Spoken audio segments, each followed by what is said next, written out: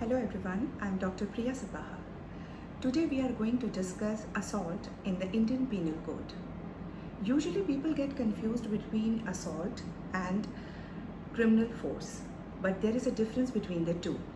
Criminal force I have already explained in my previous video and in this video we are, we are going to discuss assault. So let's start. Section 351 of IPC speaks about assault. Now what is the meaning of assault?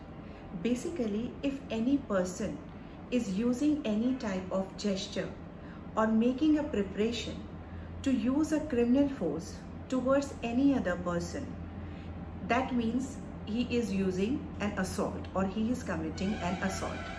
But the thing which has to be remembered is there must be a proper gesture which is a clear indication of using a criminal force. And secondly, there must be a clear apprehension of a preparation to use a criminal force towards any other person. Then only it will come under the category of assault. Always remember that there must be a proper gesture. Secondly, there may be a use of any substance. And thirdly, there may be use of any animal also. That means if a person is using any gesture or using any substance that means he may use any stick or revolver or anything else to hurt any other person then it comes under the category of assault. And if also that person is using any animal then also it comes under the category of assault. For example the thing which we have to remember is that there may must not be only a word if a person is using only a word without a gesture, then it doesn't come under assault. That means if, if I am having a fight with my friend and if I say, please do not say this again, otherwise I am going to kill you. Now this doesn't come under assault because I am simply using the words. It does not have a serious meaning. I am seriously not going to kill her. But if I'm having a fight with my friend and if I will pick any phone or a pick any uh, any weapon, it may be a stick, it may be anything which may hurt my friend. And I will say by using that gesture, by picking that substance and I will say, stop, stop, otherwise I am going to kill you or I am going to hurt you. Now here I am not only using the gesture but also using any substance that means it is a clear indication that I will definitely going to hurt her. Then it comes under assault. Similarly, if I am using my pet, if I am saying my pet that please go and bite her and my friend is afraid of a dog, then then also comes under assault. So there must be a clear apprehension, a clear indication of using any criminal force with the help of either gesture or a substance or an animal then it comes under criminal uh, uh, comes under assault. But if a person is using merely a word it doesn't comes under assault. Section 352 of IPC is related to punishment of assault and criminal force. Now this I have already explained in my previous video where I was explaining criminal force but I am uh, repeating it just for those person who are watching my this video only. Basically, if any person is using assault or criminal force, he shall be punished for three months or with fine or with both. Now, three months is the punishment and fine may be extended to 500 rupees or with both. Now, in this section, there is an exception also for the public servant. That type of assault or criminal force which has been used by the sudden provocation of any mob of or of any person to public servant and with the result there is an assault or a criminal force has been used by the public servant then there there will be no punishment for public servant. But that particular thing must be when he is doing his duty.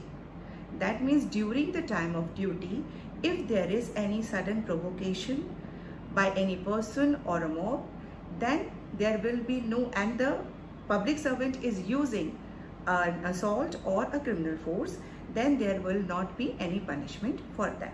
Now section 353 of IPC, which states that if any person is using assault towards a public servant, then he will be punished for the term which is two years or fine or both.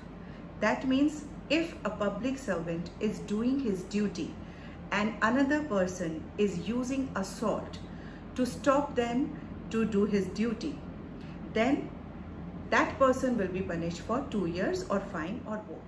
Section 354 is related to any assault or criminal force which has been used to outrage the modesty of any women.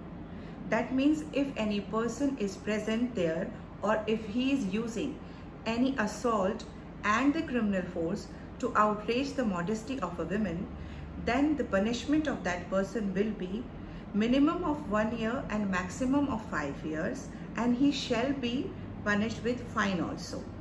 Now here minimum of one and maximum of five will depend upon the gravity and the nature of the outraging a modesty of a woman. Now section 354b is an extension of section 354 which is definitely more serious in nature.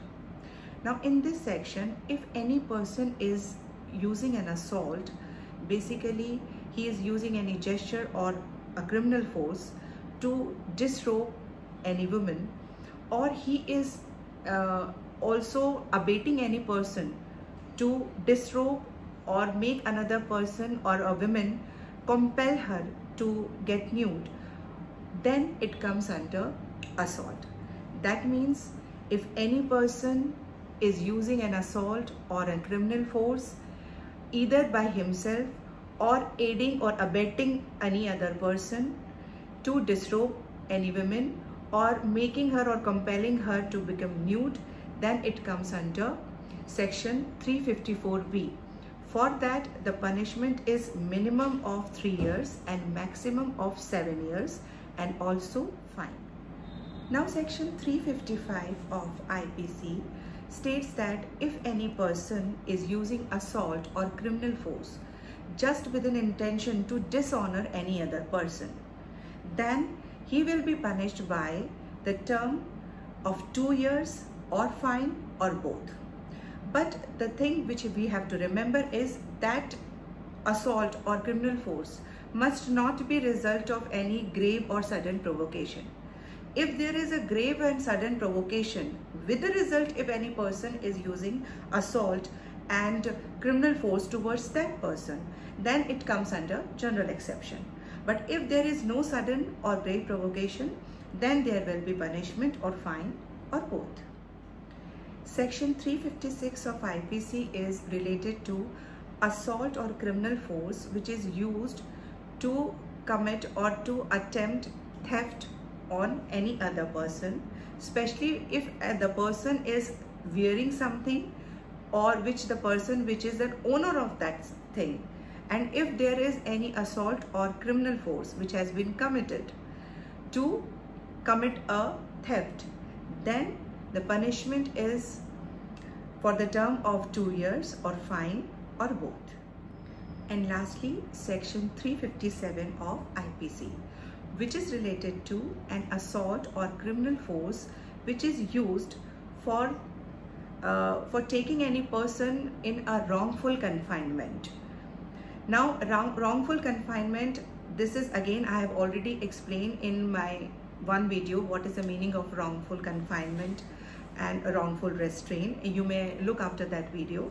That means if any person is making an assault or a criminal force just to make a person confined into one place, then the punishment will be one year and or a fine which is 1000 rupees or both. So this is all about the assault in IPC. Hope you like the video and understand also and if you like it do not forget to hit the like button and subscribe my channel. You may also follow me in the various social media platforms that is my website priyasepaha.com which is also known as Law Colloquy and the other pages like FB page Law Colloquy, LinkedIn Law Colloquy, Instagram Law Colloquy, and Twitter and YouTube with the name of Dr. Priya Sepaha. We are also accepting blogs from all of you.